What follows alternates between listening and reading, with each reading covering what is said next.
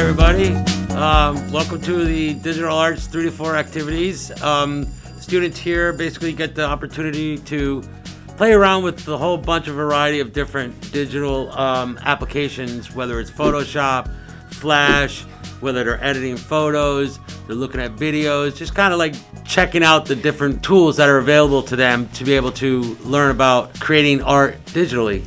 When I was younger, I really liked kaleidoscopes, but and now I really like bright colors and fluorescent things. So I was like, oh, what if I put this into Photoshop and make it what I want? Oh, like I was looking through a kaleidoscope.